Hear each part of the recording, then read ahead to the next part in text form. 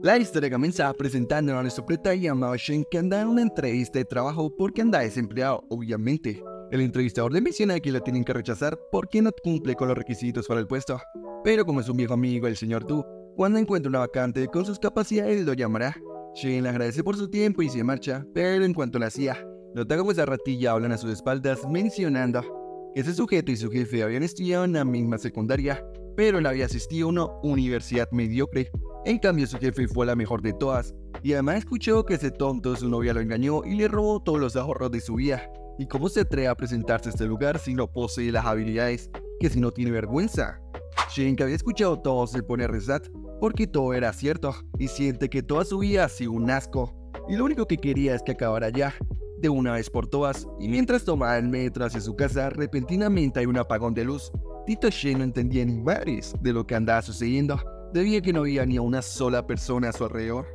En lo que de repente una voz le menciona que se le ha sido otorgado un sistema y como primer regalo le dan el paquete principiantes en lo que le pide que utilice todos los puntos de consumo que se le dieran y con ellos podrá pedir un deseo. Nuestro prota ni se las creía y pensaba que todo eso era un sueño, pero de todos modos se llena de valor en lo que lo intenta porque no pierde nada.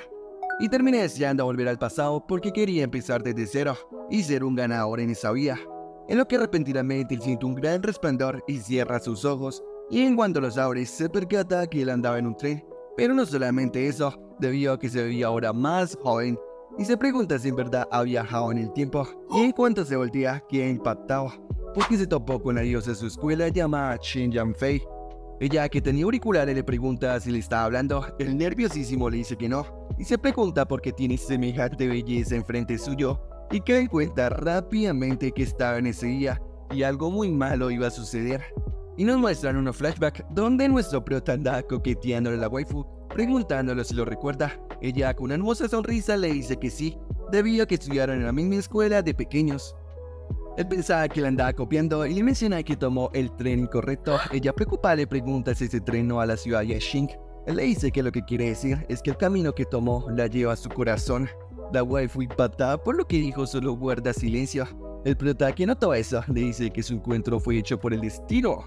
La waifu asustada le grita que se aleje y pide la ayuda de su amigo Hank. El que escuchó los gritos no iba a permitir que ese perdedor se le acercara y le termina quitando la fuerza. Volviendo al presente, vemos que Shen se sentía muy avergonzado por lo que hizo esa vez y no piensa cometer los mismos errores en esta nueva vida. Y como le rugía la panza, se va a ir a comer algo. Y mientras se preparaba una taza de ramen, el sistema informa que la función de deseos ha sido desactivada permanentemente y que el sistema de consumo ha sido activado oficialmente, y siempre y cuando consiga puntos podrá mejorar sus habilidades, como su apariencia, conocimiento, entre otros. Pero para poder obtener puntos tenía que ganar dinero y después gastarlo y así ganaría más puntos. Pero ahora mismo no tiene nada efectivo y debe pensar alguna forma en ganarlo para así volverse un todo magnate en esta vida. Chen, mientras se dirigía a su asiento, escucha que Yanfei anda enojada. Debía que quería comer ramen, pero su amigo Han se niega. Debía que su madre le pidió a él que la llevara a comer el vagón de comida de lujo. La waifu molesta le dice que ella va a comer lo que quiera. Debía que siempre le hace caso y eso es lo que quiere comer ahora mismo. Shen, que escuchó todo eso, se le sale una risilla. Han le grita que qué diablos está riendo. El prota le dice que de nada, el tipejo obviamente no le cree y le pide que se meta en sus asuntos. La waifu que notó que iba a discutir le pide que se mueva a un lado y ir al vagón de bocadillos a prepararse un delicioso ramen. El prota que observó toda su discusión era consciente que por actuar como un lamebotas en el momento equivocado, les daba punto a sus rivales para que se lucieran y por eso no volverá a comportarse así. Al cabo de unos cuantos minutos vemos que la waifu está triste debido a que ya se habían acabado las papitas. Shane que escuchó eso le dice que él tiene una de sobra. Ella le pregunta que cuánto cuesta, él le dice que el precio original es 2,50 ella, como no tenía cambio, le dice que se lo que. Él le dice que está bien y si no les gusta, puede tomar esa media naranja que le queda. Ella le agradece por eso y le dice que él es muy considerado, pero repentinamente llega Han muy enojado, gritándole que si tenía hambre, él tiene mucho dinero y puede comprarle todo lo que quiera. Pero en cambio aceptó esa naranja ese perdedor y rechazó su oferta llevarla a comer al vagón más caro del lugar. La waifu ya molesta su grosería le pide que se calle y le menciona que para nada son compatibles y que a partir de ahora ya no la moleste, y se va furiosa al lugar. Han se pone muy cabreado debido a que por ese tonto Janfei anda molesta con él y rápidamente toma el cuello a nuestro prota y fuertemente lo empuja contra el suelo y empieza a propiciarle una madre palizante a todo el mundo y furioso le grita que se largue de aquí. Tito Shen dolorido no recuerda que tuviera un cuerpo tan débil.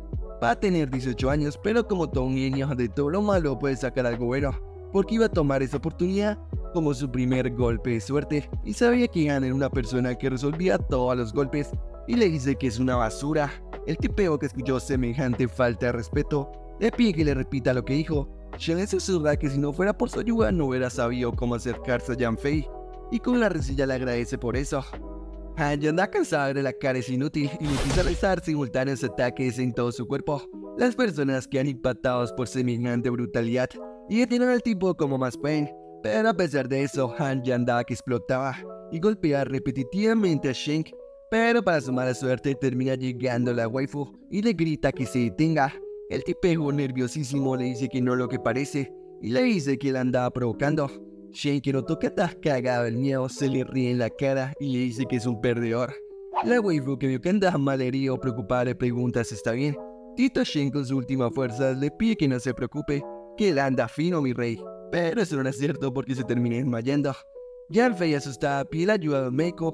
El si siguiera una segunda parte pide una meta de 4500 likes, pero tengo que informarles que vamos al día con historia y ya no hay más capítulos por el momento, pero en un futuro cuando salgan más la traeré, se lo juro.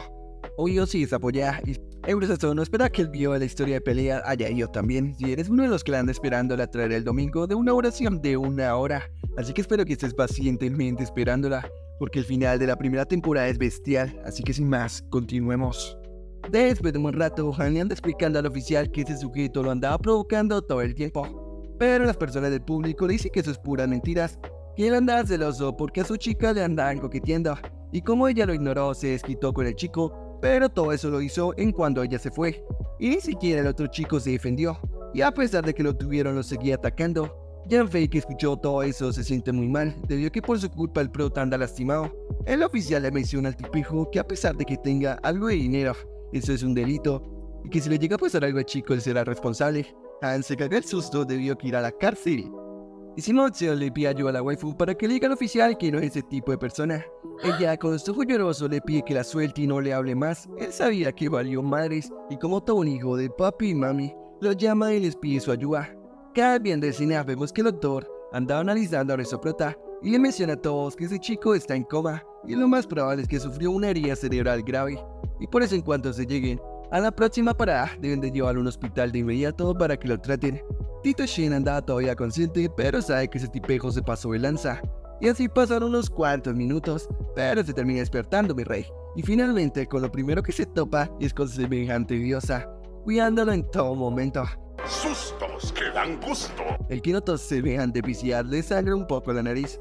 Ella asustada le pregunta que por qué anda sangrando, que si se lastimó muy fuerte. She le dice que está bien, pero era consciente que por nada le decían Dios en su anterior vía porque es muy hermosa. Ella le menciona que no se preocupe, que ya están a punto de llegar a la estación y lo llevarán al hospital para que lo traten. Él le agradece por todo y como tumbas que es, no iba a permitir que esa ratilla saliera tan fácil por todo lo que le hizo y por eso planea denunciarlo por haberlo golpeado y así su familia debería pedirle perdón. Después de unas cuantas horas, vemos que Janfi anda en todo momento con Shin, debido que todavía estaba herido y en cuanto sale del baño él se tropieza, pero ella como más puede lo toma en sus brazos él le agradece por su preocupación y le menciona que por nada es la diosa de su escuela, porque es hermosa tanto por fuera y por dentro. ¡Qué habilidad, señor! Y vemos como ambos se sientan y charlan un rato. Nuestro prota le dice que comprendió que después de esa paliza debe empezar a hacer ejercicio, porque aunque pueda resistir una paliza así, tiene que volverse fuerte para proteger a las chicas de su alrededor. La waifu con una risilla le dice que eso es cierto, pero primero debe protegerse el mismo Mientras tanto, vemos que Han lo llevaron detenido a la estación de policía. Cambian de escena ya en el hospital. Shin anda re feliz debido a que tuvo puntos de experiencia al estar aquí, debido a que los padres de Hank pagaron todos sus gastos médicos y aunque no fuera su dinero, tuvo puntos de todas formas. Pero repentinamente, en cuanto revisa el sistema, termina llegando Fei, que le trae un enorme ramo de flores. Ella, como le decía compañero Shink, nuestro prota le pide que le diga solamente su nombre.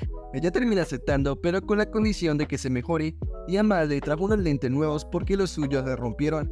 Nuestro prota que la observó era consciente que su vida pasada no tuvo mucha cercanía con ella, pero se enteró que se casó y su boda fue magnífica, y además ella era una linda persona, y agradece a Han por darle semejante oportunidad de conocerla. Ella le comenta que dentro de poco llegará su padre y también los papás de Hank, y le pregunta que si quiere intercambiar números para poder escribirse. Tito Shin no se creía lo que anda diciendo y obviamente termina aceptando. Después de unos cuantos minutos, vemos que entran varias personas a la habitación. El padre de Hank inclina su cabeza hacia nuestro prota y le pide disculpas por lo que le hizo su hijo, y le menciona que él y su esposa andan muy apenados por cómo se comportó él. Tito Shin, como tontipazo, le pide que no se incline, debido a que él es más joven que él. La madre de Hank le pide disculpas y le promete que su hijo no se involucrará más con él, y por eso le van a dar una pequeña compensación. Nuestro prota que escuchó eso aprovecha el bugazo y le dice que en realidad él anda un poco apenado. Porque le dijo a que era un inútil, su padre que una persona correcta le dice que eso no fue su culpa y que eso fue todo por su hijo y por eso van a compensarlo con la mayor cantidad de dinero posible y que si 800 mil yuanes son razonables. Tito Shane se pone re feliz porque son muchísimo dinero y se pregunta cuántos puntos de habilidad podría comprar con ellos. El señor, como lo dice sumergido en sus pensamientos, le pregunta si no son suficientes. Nuestro prota le agradece por todo y le menciona que ya fe por eso dijo que podía confiar en él debido a que es una persona muy razonable. Pero si resuelve ese asunto con dinero, demostrará que es un buen padre. Sin embargo, lo más importante es corregir el comportamiento de su hijo, porque podría arruinar su vida sin darse cuenta. Y por ese motivo no va a aceptar su dinero, porque en el futuro el comportamiento de su hijo provocará grandes pérdidas. El señor le agradece por su comprensión y le promete que lo educará correctamente, pero de todas formas le hará el efectivo. Nuestro prota acepta su sinceridad y estará de acuerdo en reconciliarse. El hombre se pone a llorar y le jura que traerá a su hijo para que se disculpe y sin manda que decirse marcha rápidamente a la habitación junto a su esposa. Shin, que se percató de ella, se despide de todos. Al cabo de unos pocos minutos, vemos que el padre Hank le pide disculpas al viejo Wang, que era el padre de la waifu, debido a que su hijo causó muchos problemas, y le jura que si llega a molestar a su hija lo mandará al extranjero, y le pide que por favor eso no arruine la amistad de tantos años. El viejo Wang le dice que no hay ningún problema, y debido a eso los padres del tipego se despiden y se marchan. Mientras tanto vemos que el padre de la waifu se percata que ella tiene algo, y le pregunta qué es lo que le sucede. Ella estaba muy triste debido a que en realidad Hank era muy racional y violento. Su padre le menciona que no entiende cómo su madre le pidió a él que la cuidara a ella. La waifu le dice que le dirá todo cuanto llegue, y no comprende por qué Han no tiene un poco de la madurez y sensatez de Chink, y si la tuviera no hubiera pasado nada. Su papá le dice que ella piensa muy bien de ese chico y le pregunta por qué si lleva conociéndolo solamente un día. Ella sonroja le menciona que ambos estuvieron en la misma escuela y además él fue golpeado por su culpa y también piensa que es un buen chico y le pregunta a su papá qué piensa de él. El Juan le dice que es muy maduro y los jóvenes que han madurado hasta ese punto generalmente son así por su entorno y circunstancias de vida y en lugar de centrarse en sus emociones personales buscan el éxito y lo más probable es que tenga un futuro prometedor. Su hija se ríe debido a que no piensa mal de él. Su papá con un tono serio le advierte que salir con ese chico podría ser muy agotador. Y además, como la quería tanto, no quería que su niña se enamorara. La waifu con una radiante sonrisa le dice que no está interesada en tener citas. Es bellísimo. Pasando los días, vemos que nuestro prota se sentía ya un poco mejor y se percató que efectivamente las personas que gasten dinero en él lo recibirán puntos pero se pregunta qué puede comprar con ellos y recuerda que podría mejorar un poco su vista. Eso era debido a que recibió varias burlas por no ver bien y sin pensárselo dos veces la mejora. Y a los pocos segundos el sistema le indica que sus ojos ya andan saludables. Él se levanta y se para enfrente del espejo para comprobar si era cierto. Y vemos que en cuanto se quita sus gafas, resulta que ahora es todo un papucho, tallado por los mismísimos dioses. Y se percata que en cuanto mejora su físico, su atractivo aumentará, obviamente. Y además que el prota estuvo en contacto en todo momento con la waifu y ella le dijo que le haría un regalo y le pregunta qué es lo que quiere. Él le termina pidiendo un libro en donde ella acepta y le dice que lo verá mañana entonces. Al día siguiente vemos que efectivamente le trajo un libro, pero Shiran da risat debido a que le trajo uno para el estudio y le pregunta si le habla en serio, que anda muy decepcionado por sus gustos. Ella le dice que era una broma y le termina entregando el verdadero, que era una novela ligera. Él le agradece por eso y le dice que la leerá completa, ella le dice que su velocidad para cambiar de opinión es muy rápida, y mientras lo observa fijamente lo ve un poco diferente. Entonces se le acerca poco a poco para ver si es cierto lo que piensa. Tito Shin se avergüenza por ello y le grita que él vende su talento, no su cuerpo. Ella enojada le dice que nadie lo compraría, pero nota que en cuanto se quita sus gafas se ve más guapo. El prota como tumba le menciona que eso no es nada, que en cuanto se recupere se verá como Tom Casanova. Ella con una risilla le dice que es muy arrogante, en donde toma su libro y le menciona que ya se irá, porque muy pronto no la volverá a ver, pero lo visitará mañana junto a su padre. Shin se caga en su ancestro debido a que nombra a su papá y no entiende por qué. A la mañana siguiente vemos que Han agacha su cabeza y le pide perdón a nuestro prota y le jura que no se dejará llevar más por sus emociones.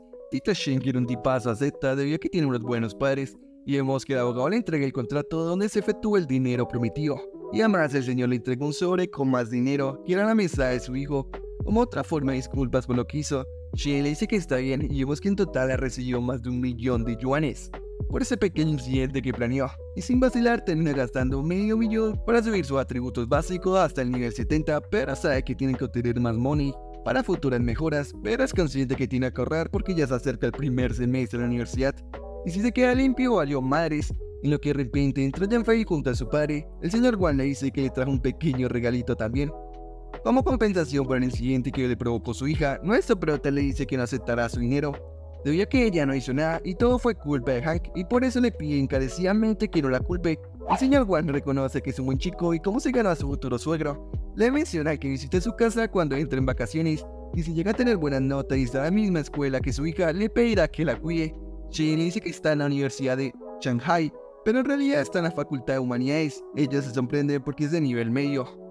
El prota menciona que en cuanto era más joven pensó que la nota no representaba nada, así que tomó caminos equivocados, pero ahora se arrepiente de ello.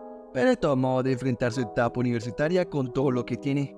El señor Juan lo felicita debido a que ya no se puede cambiar el pasado, pero sí el futuro, y le pide que trabaje arduamente, que tiene mucha confianza en que logrará grandes cosas.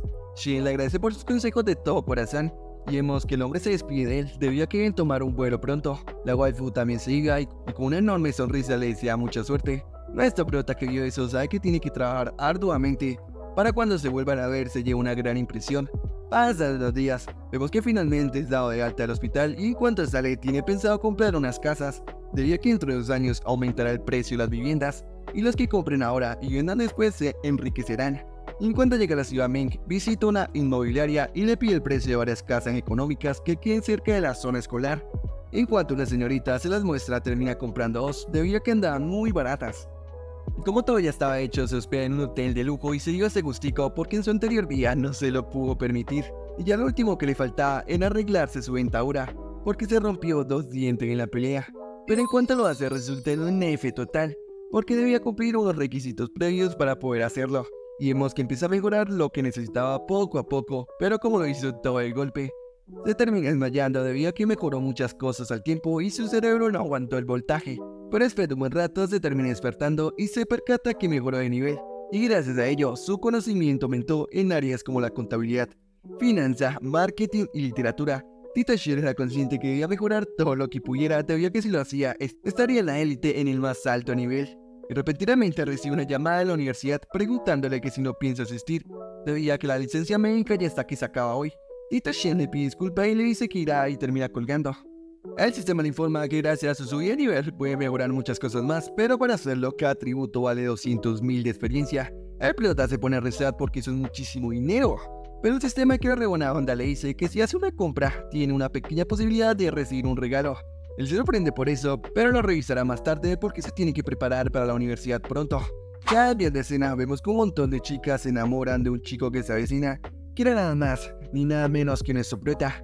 Tita Shin se veía más fachero en los brazos debido a que invirtió en su apariencia, porque sabía que era una buena inversión, y ahora todas las damas lo ven como un galán de telenovela.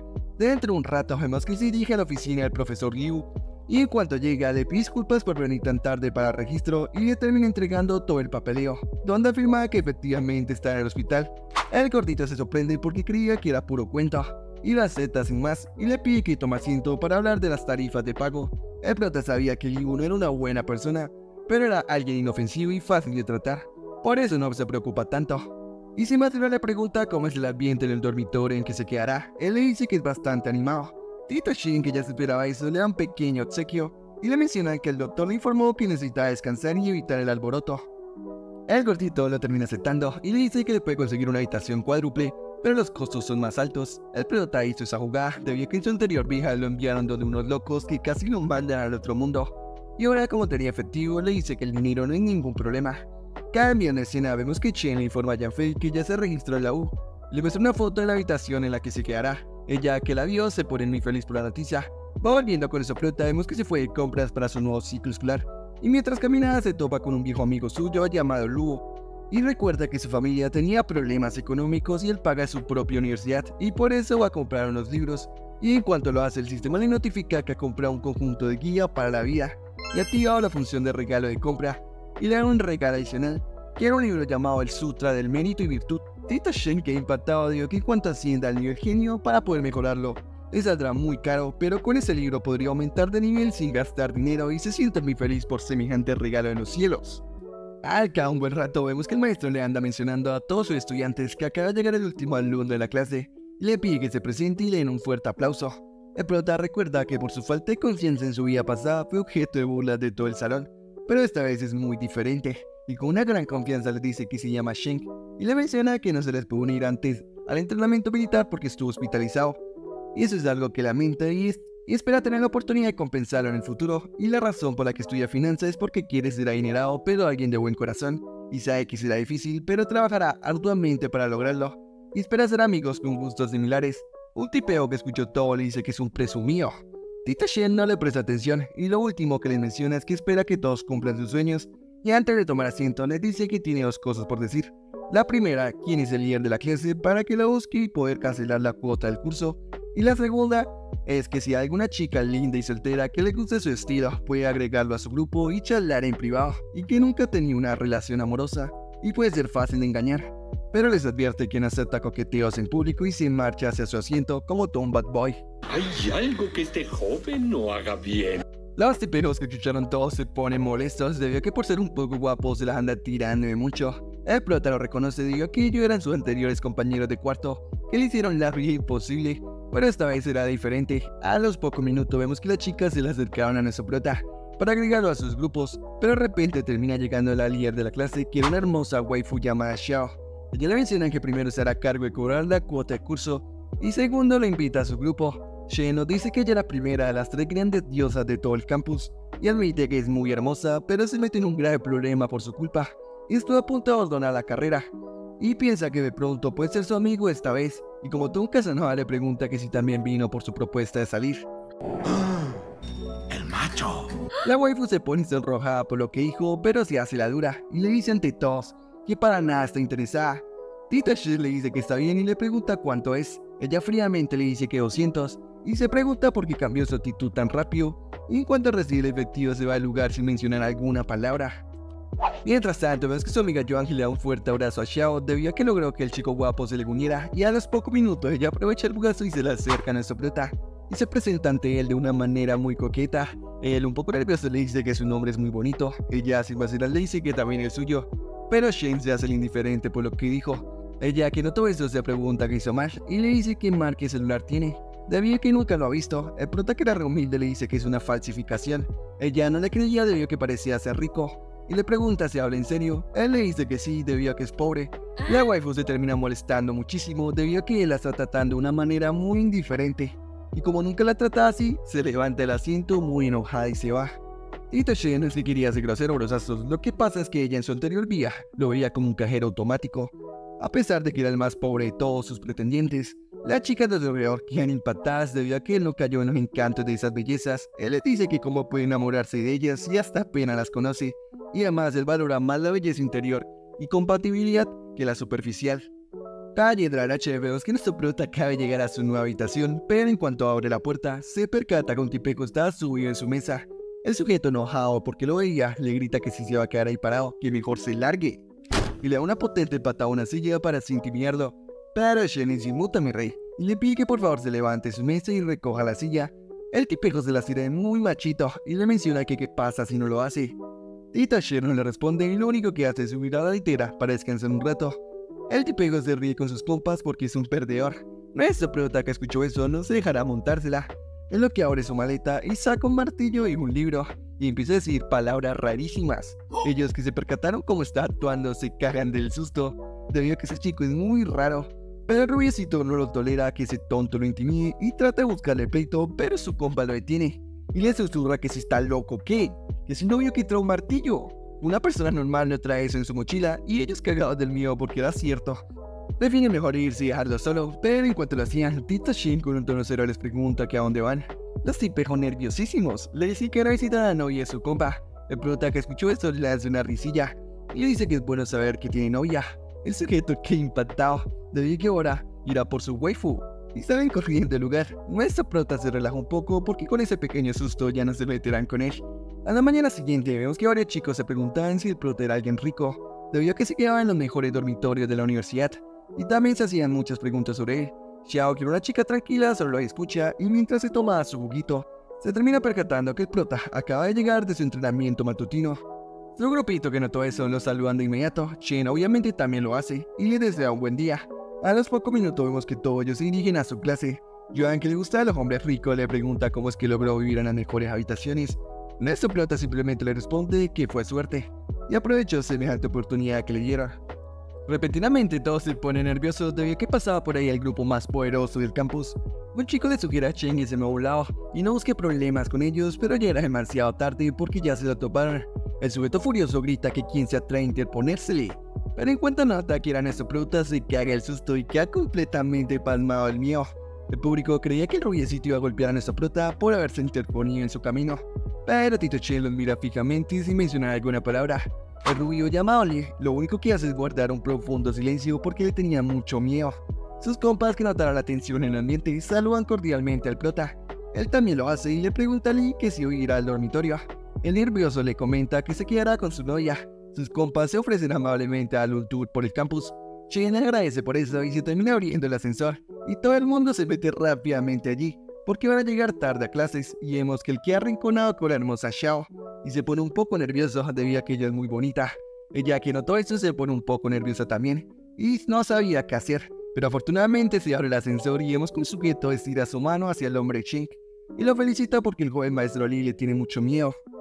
Nuestro pregunta que notó algo raro le pide que lo suelte y le advierte que nunca lo vuelva a tocar y toma nuevamente su cartera y con una cara seria le agradece por cuidársela. El chico nervioso huye al lugar porque lo descubrieron. La waifu que no anda esperando afuera notó que él fue muy grosero con ese chico y le menciona que si no dijo en su presentación que quería ser amigo de todo el mundo. Él, como tú, Bad Boy, le dice que nunca dijo que fuera posible. En cuanto entran al salón, nota que Joan los anda llamando. Ellos se dirigen allá para tomar asiento. Xiao se sienta rápidamente y le dice que es cierto lo que dice, que es más importante la calidad de amigos que la cantidad. Y con una radiante sonrisa le pregunta que qué tipo de amigos quiere hacer. Shin como tumba Sao le responde que los que hagan pocas preguntas. Y debido a eso Yuan no se para reír y le pide disculpa por si lo interrumpió, pero fue muy gracioso su respuesta. Y sin más le pregunta que si da su número de teléfono para poder charlar. Él le dice que más tarde se lo va, sin embargo rara vez chatea. Y de pronto se demora en contestar, porque tiene su teléfono en silencio. Xiao sonroja le dice que es por eso que no le responde, pero debería darle más importancia porque es la líder de la clase. Nuestro prota no se dio cuenta de eso debido a que estuvo hablando con la hermosa Fei toda la noche y le miente diciéndole que tuvo muchas cosas por hacer. La waifu se pone molesta por esta excusa tan tonta, pero admite que en realidad es muy lindo, pero de todos modos es alguien muy presumido. Y eso le quita punto y prefiere mejor mantener la distancia. Pero al cabo un rato nota que la anda estudiando muchísimo, esto debido a que nuestro prota detectó que como subió a nivel adquirió un montón de conocimiento, pero aunque se vea algo positivo tiene una desventaja, porque como tiene tanto por aprender es difícil organizarlo y entenderlo. Y si no lo hace le da fuerte dolores de cabeza, por eso debe ponerse en modo estudioso y comprender poco a poco la información que va adquiriendo. La waifu que noto que está leyendo y respondiendo varias preguntas le dice que si no va a prestar atención a la clase. Él le responde que si no puede aprender por sí mismo, lo que produce que ella se moleste porque entonces para qué viene a clase. Él le menciona que hay tres posibilidades de por qué estudia tanto, y escoger cuál es la correcta. La primera que fue iluminado después de las vacaciones de verano. La segunda que antes de que peleara con alguien y fuera hospitalizado reprobó su prueba. Y la tercera que siempre fue un genio. Xiao le dice que se la está engañando, que no cree ninguna de ellas. al que se metió en la conversación elige la tercera porque la primera vez que lo vio, notó que era diferente a los demás chicos y sin duda debe ser un genio. El que escuchó esto se pone un poco serio debido a que ella usaba a los jóvenes tanto como él en su anterior vía y finalmente se casó con un rico de segunda generación y sabe por qué se le está acercando. Y le pregunta a Xiao que como no escogió ningún adivine por qué estudia tanto. Ella un poco molesta termina siguiendo y le dice que siempre fue un genio, pero de joven siempre fue un rebelde. hasta que un día le quitaron su novia a un joven rico y enojado fue a buscar venganza, pero le dieron una paliza y como no aceptaba su ruptura, decidió trabajar duro para volverse rico y por ese motivo rechaza a todas las chicas lindas que se le acerquen para no cometer los mismos errores. Y la razón por la que él dijo que quería una novia ajena para olvidar a su ex. Jane con otra burla le dice que si escribe novelas en sus tiempos libres porque eso parece. Ella por alguna razón se pone nerviosa y le dice que ella es alguien muy ocupada, que cómo le puede quedar tiempo para escribir novelas. El prota percibe esa reacción de encubrimiento y sabe que lo más seguro es que escriba. Y recuerda que en su vida pasada ella era muy popular, pero a pesar de eso tenía una fuerte personalidad, autocontrol y disciplina, por eso era difícil para la gente común acercársele. Y pensó que sería alguien muy exitosa, pero al final solamente se casó y trató de recordar si en algún punto ella escribía novelas. Pero estaba complicado porque ella era muy cautelosa, pero recuerda que un día fue a su oficina para pedirle una impresora y como iba de salida le pidió que se hiciera cargo de ello. Y sin querer vio un email donde andaba a entender que tenía un apodo para firmar contratos como novelista y está muy interesado en saber qué más secretos guarda ella. Después de unos cuantos minutos vemos que Xiao andaba muy pensativa debido a que se pregunta si él se enteró que ella escribía y eso la tenía muy preocupada porque no quería que nadie se enterara. Ya al final de las clases el prota ya se iba a ir, pero Joan le pregunta si quiere almorzar con ellas. Él le dice que no, que debió que tiene unas cosas por hacer. Ella le llora a su amiga debido a que ese tonto no le presta atención. La noche vemos que Tito Shen como toda una ratilla se usa a sus compañeros de cuarto haciéndose pasar como si fuera un loco. Obvio, ellos le tienen muchísimo miedo. A la mañana siguiente el prota aprovechó la oportunidad de que no tenían clases y fue a comprarse unas cosas que necesitaba, como un portátil para sus estudios y un nuevo teléfono debido a que el suyo ya estaba muy viejo. En cuanto compra una SIM card, se le activa la función de regalo y consumo y obtuvo un regalo adicional. El que ha sorprendido debido a que compró cosas más caras pero no tuvo nada. Y por esa cosita así, obviamente acepta regalo. A proceso, el prota le dieron una SIM modificada por el sistema. No comprendí muy bien para qué servía porque hacía cosas rarísimas. Pero por la reacción de él está chetadísima y si la sabe usar le puede sacar mucho provecho. Cambiando de escena, vemos que Joan anda diciéndole a Xiao que Shen es alguien muy diferente a los chicos que ha conocido. De temperamento, todos los demás son inferiores a él, aunque es un poco grosero a veces, porque no le gusta hablar con la gente. Chao le dice que pronto es su forma de ser y termina recibiendo un mensaje y en cuanto lo revisa, se percata que era él. Él escribía de un diferente número y escucha que Joan grita. Ella le pide disculpas por eso debido a que vio algo de mío y le pregunta si agrega a Chen al grupo. Xiao que escuchó eso se pone molesta debido a que le dijo que lo guardara en secreto, pero ya lo compartió con los demás. Ay, brosazos, de aquí en adelante la traducción de la historia no es la mejor y me tocó leer y leer varias veces para comprender bien qué es lo que quieren dar a entender y explicar lo mejor posible, así que sobre si a veces se entiende. Volviendo a plata, vemos que está buscando como todo un loco el nombre de la novela que hizo Xiao, pero no consigue nada por internet y recuerda que posiblemente hizo una novela en su segundo o tercer año, que a partir de ahí creó una gran base de fans y sabe que si tuvo una significa que su novela fue un éxito. Y ella tendrá su edad de oro de la escritura pronto, y con el paso del tiempo varias excelentes obras fueron descubiertas, y gracias a ello la empresa la adaptaron a películas y dramas de televisión. Y es consciente que con sus habilidades actuales también podría escribir, pero no le quedaría mucho tiempo y aparte, aparte nunca lo ha hecho, pero todo no es malo, porque conoce las tendencias del futuro y con el talento de Xiao y su previsión podría ganar una gran fortuna e intenta de ver cuál es su apodo de nuevo y después de una búsqueda implacable lo termina hallando y en cuanto trata de enviarle la invitación de amistad se percata que tiene unas preguntas para aceptarlo. ¿Quién eras? ¿Quién soy? ¿Quién eres y por qué eres mi amigo? Resto prota sigan en sus ancestros. Debía que les era imposible agregarla como amiga directamente, pero se le ocurre una brillante idea para poderlo solucionar. A la mañana siguiente vemos que Yuan nota que acaba de llegar al salón Sheng y le grita que se sienta a su lado. Nuestro prota lo termina haciendo, pero no espera que ella estuviera tan interesada en él debido a es propio en ella insinuársela a un chico y se percata que Xiao lo anda ignorando. Pero él como tumba sabía cómo quitarle ese orgullo y es cuestión de que muerda el anzuelo. Y vemos que nos cuenta que Xiao Ji ahora está cerca de Fanfei, la chica de cabello verde, pero la que le gusta es Xiao. Y al final lo con la que se termina casando es con Yuan, y Fanfei estuvo atraída en un principio por Luo Shi, pero se enteró que él es un lamebote de Yuan y por eso ambas se odian, pero en cambio Yuan se lleva genial con Xiao y sabe que la vida universitaria es muy emocionante. La waifu le pregunta a Shen que por qué no le contestó los mensajes ayer. Él le dice que la anda leyendo todo el día y ella se sorprende un poco. Y le dice que si tiene pensado transferirse de universidad. Todos quedan sorprendidos por lo que dijo. Shen que todo eso le dice que porque lo miran que el examen es a mediados del otro año. Y es muy pronto para decir tal cosa. Ella se pone feliz porque aún no se irá, pero sabe que con su arduo trabajo y esfuerzo logrará entrar. Tanto Xiaoyi y Lou empiezan a burlarse de él debido a que es muy complicado pasar ese examen de transferencia, pero que nada cuesta hablar, que diga todo lo que quiera, pero que sería una pena que no entrara.